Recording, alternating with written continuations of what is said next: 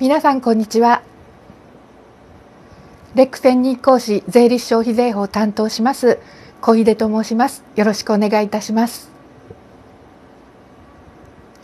本日は2022年度税理士試験受験向けの消費税法の講座のガイダンスを行いたいと思います。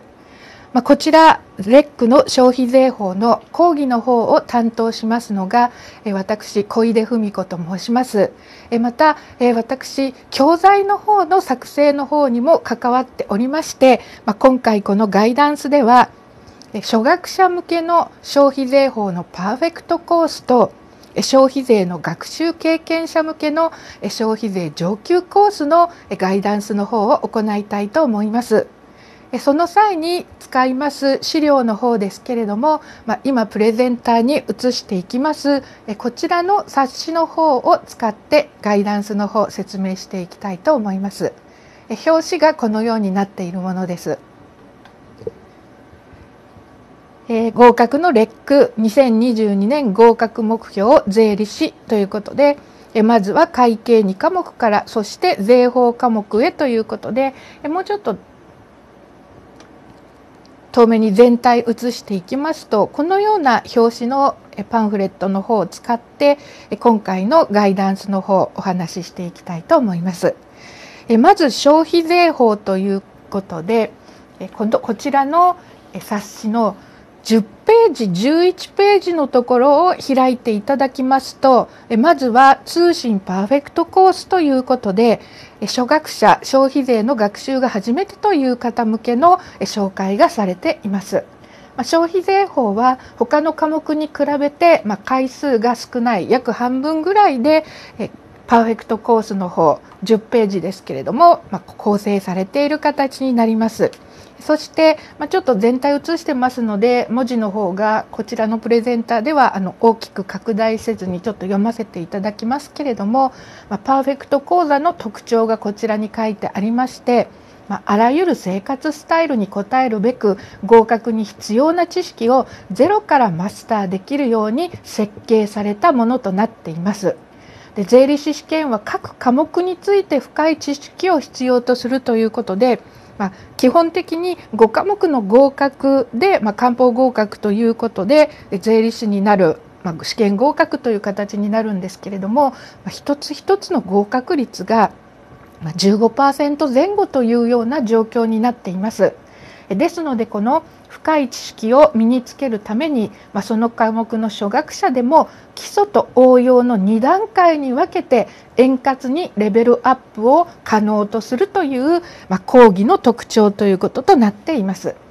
そして特に消費税法は日照簿記3級の知識があれば学習可能という形でご紹介をしています。そしてこの消費税法の受験なんですけれども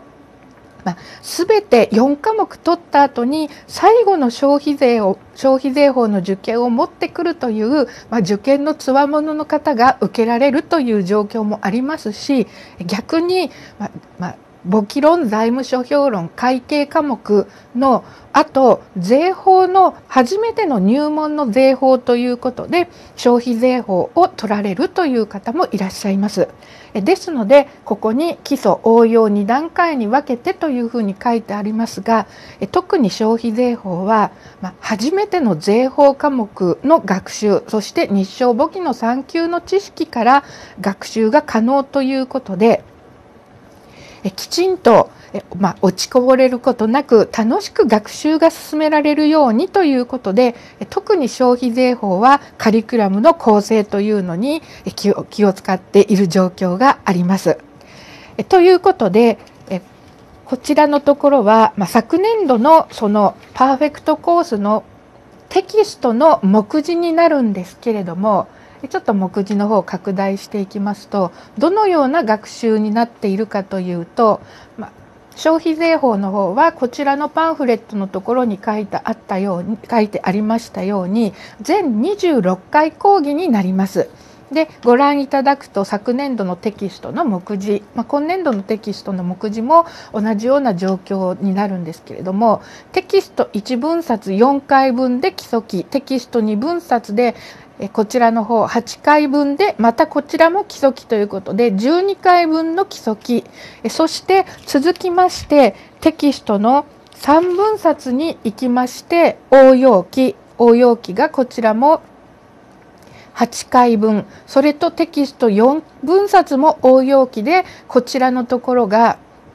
6回分ということで応用期の方は、まあ、実はここにちょっと見えますけど軽減税率制度というのが入ったおかげで講義が基礎期の講義より応用期の方が2回多くなって全体で26回の講義ということとなっているわけです。で見ていただくとちょっとねこのように丸をつけたところでもわかるんですけれども応用期のところでこの2となっています。2とか2とか3っていう数字がついてきているんですけれどもということはこの基礎期の学習のところで、まあ、1って書いてありまして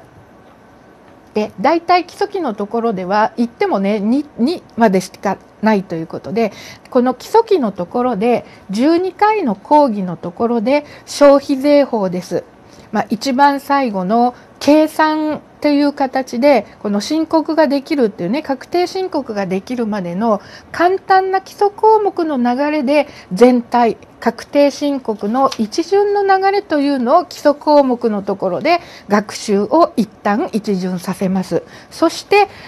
応用期のところでまた最初に戻っていきまして補填すべき応用項目というのを学習していきまして全体的な確定申告の状況までが応用項目を含めましてできるようにというふうになっています。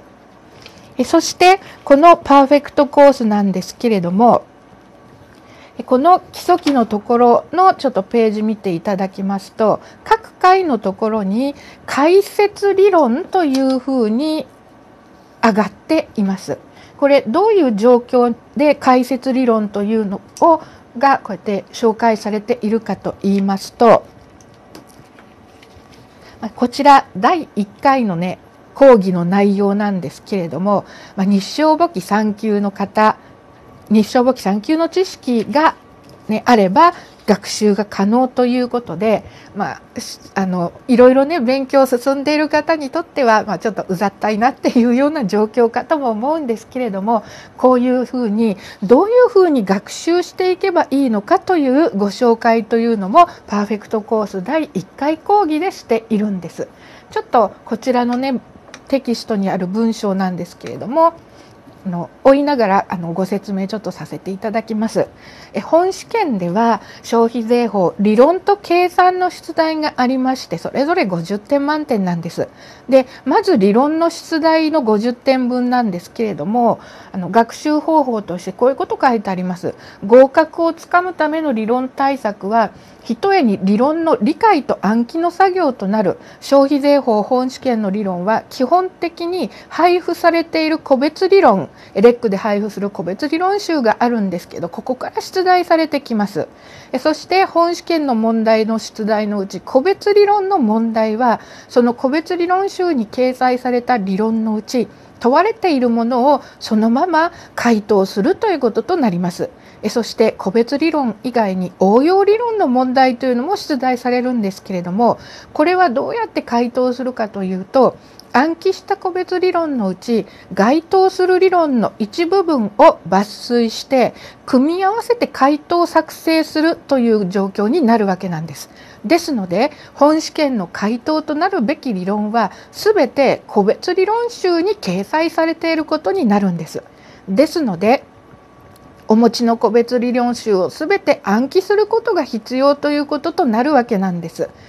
つまりこの本試験で理論の分50点になるべく近い得点を取るにはお持ちの個別理論集の暗記ということとなるわけなんです。まあ、その後にねにあの何日で1台暗記していかないと間に合わなくなるようなペースなんですよなんてちょっと驚かすようなことが書いてありますけれどもこのように、まあ、理論をどうやって学習し制覇していくと合格をつかめるのか計算もそうですけれども計算問題についてはちょっとね赤線引きますけどけれども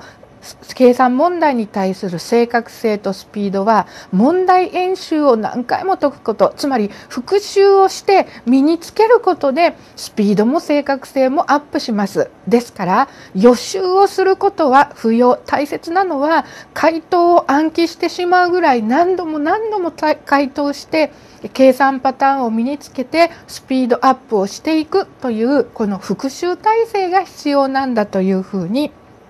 紹介しているわけなんです。このように、まあ、日照簿記3級で初めて税法を学習するという方でもあの無理なく無駄なく楽しく学習できるようにということでいろんなご紹介をしているようなテキストになっています。そして先ほどこの理論対策に対して各界講義のところでこうこのように理論解説理論というふうに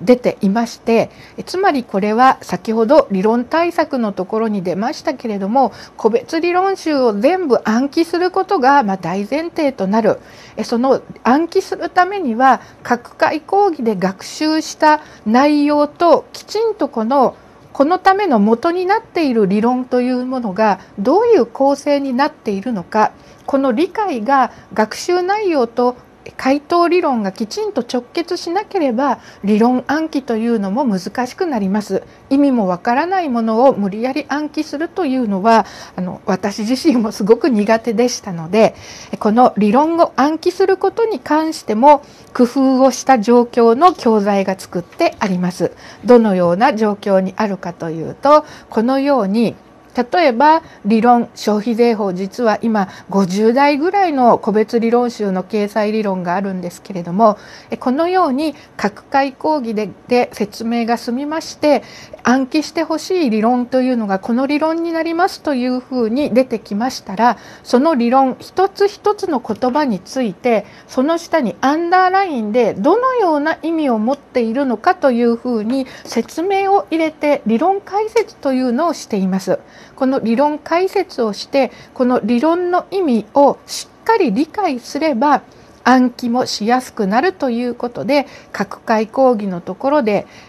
引用した理論についてはこのように解説をして暗記の手助けをしていっているという状況にあります。では初学者向けのパーフェクトコースがこのような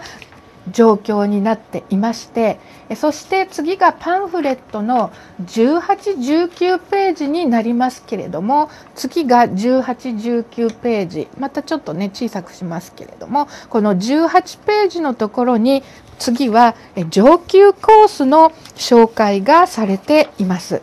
でこちら上級コースなんですけれども上級コースは先ほどお話ししましたが、まあ、とりあえず消費税の消費税法の学習経験者向けというコースにはなっています。まあ、ですが実は消費税法の上級コースは先ほどの初学者のパーフェクトコースの方でもあの直前答案練習期という本試験直前に迫った時期でまあ、要は個別理論集の理論の暗記がほぼほぼ済んだ状況の場合はこの上級コースの受講というのも可能というふうになっているような作りにあります。まあ、その話はおいおいこの上級コースの説明でしていきたいと思います。ではこの上級コースなんですけれどもどのような特徴があるかと言いますとちょっとこれあの大きくはしないのでパンフレットの字を追っていただけるといいんですけど一番左の丸1の下3行分です。本試験で役立つ視点考え方など実践を踏まえて高度な知識の確立を目指しますと書いてあるんですけれども簡単に言いますと消費税法の上級コースはどのようなことをに留意して上級コースのカリキュラムを組んでいるかというと、まあ、ここにありますけれども上級コースは学習経験者向けということですから必ず合格を確実にするために必ず合格ボーダーラインに乗るまたはそのボーダーラインの少しでも上に出るという実力をつけるためのまあ、合格する合格を確実にする実力をつけるカリキュラムということとなっています。ですので上級コースです。どのような設定をしているかというとこちらの方が昨年度21年受験用の上級コースのカリキュラムだったんですけれどもちょっとざっくりあの見ていただきますと上級コースというのはえっともうちょっとここ大きくしますね。あの消費税はあの、まあ、4種類のものでワンセットにしています。上え消費税の上級コースは4種類のものでワンセットになっていましてそれは講義が2回そして開放講義1回当連1回となっているんですけれどもちょっと見ていただきますとこの 4, 4種類のものでえ1つのグループになっているわけなんですけれどもこれ見ていただくと消費税法約50台の理論が個別理論集に載っているんですけれども1つのグループで、まあ、この理論2つのグループのところでこの理論で3つのグループ3つ目のグループのところでこの理論4つ目のグループでこの理論ということで消費税50台の個別理論がこの4つのグループに分けて要はあの4分割で学習することによって上級コースは要はお持ちの個別理論集の全体を、まあ、4分割で1回転させて学習を要は一巡させるというようなこととなっているわけなんです。そしてそれぞれの,、えー、その一つのグループにの中にある4回講義の内容なんですけれどもこちらは、まあ、メインテーマがここにあるようにまず1ブロック目はこの理論の1から56から1622というのをメインテーマとしまして講義の1回目のところでは、まあ、いろんな学習方法のご紹介をすることと加えましてまず講義1では個別理論に対して本試験において必ず合格できる実力をつけるための注意点というところを学習していきます。講義の2では応用理論に対して実力をつけて合格できる力をつけていきます。特に受験受験生は私自身もそうだったんですけれどもの応用理論の回答の方法が習得できるまでとてもの不安で仕方ないんです何を書いていいかわからないというのがあるんですその何を書いていいかわからないということに対して実は必ず答案を埋めることができるテクニックがあるんですということがこちらの応用理論回答回答へのアプローチのところで学習できるようになっています。そして解放講義のところは2時間演習問題を解くんですけれどもここは過去出題問題に触れるということで過去問になれるということがメインのテーマとなっています。います。そしてもう一回2時間の答案練習答練なんですけれどもここではレックが作成した問題というのに触れていただく形になっています。このように個別理論の実力をつけ応用理論の実力をつけ計算に関しても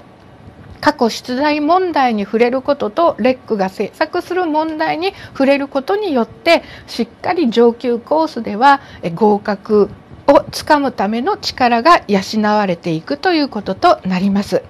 先ほどお話ししました初学のパーフェクトコースの方もこの上級コースはですのであの個別理論さえしっかり覚えて暗記していただけていれば応用理論に応用理論対策を聞いても話が通じることになりますし2時間演習問題もやはりパーフェクトコースのあの4回攻撃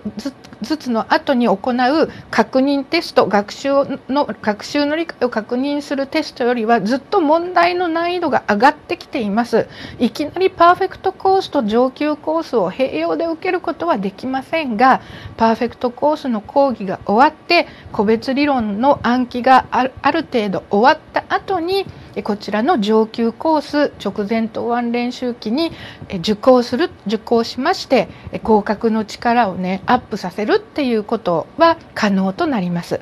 えそしてこの上級コースですけれどもあの実はパンフレットの19ページを見ていただきますとあの上級コースもパーフェクトコースもそうなんですけれども要はパーフェクトコースですと11ページ上級コースですと19ページになるんですけれどもそれぞれあのパーフェクトコースの講義の講義上級コースの講義の方が終わりますと同じく続けて直前答案練習期があのくっついてくることになります。ただあのパーフェクトコースの方が直前答案練習期にこの上級コースのこちらのインプット編ですね講義編のインプット編だけ受けたいっていう場合ももちろんこちら単体で申し込むことも可能なんです。ですがその場合はこのインプット機の講義のインプットの方だけ直前答案練習期は不要です。パーフェクトコースをあの通年で受けあの受講していますのでということでインプット機だけお申し込みになりたい場合はあのご注意いただく点がありましてあのお申し込みの窓口がフリーコールのところかあの学院学校の窓口だけということで要はあの対面で人と話した形で上級のインプットの部分だけの申し込みをしたいあの講義の部分だけをね申し込みしたい直前期はいらないっていうことをお伝えしないとあの申し込みができないのでそこだけご注意くださいということとなっています。では簡単に最後にこちら11ページ19ページにあります直前期なんですけれどもこれは昨年2021年受験用の直前期です。基本2022年向けも同じようなカリキュラムでね進めていく予定でおります。どういう状況になっていくかというとのいきなりずっと答案練習ばかりするのではなく講義をして答案練習講義をして答案練習講義をして答案練習その後はあの2時間の演習問題というのが続くことになります。ここに、えっと、